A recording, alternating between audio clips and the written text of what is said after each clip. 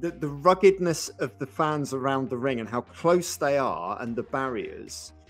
feels like what 80s and 70s wrestling felt like when we were younger looking back at those does that make sense yeah, compared to the modern yeah. day product in wrestling it's funny because like we always talk about suspending disbelief right and I, I always say it's not about making someone think that it's real it's about making them forget that it's fake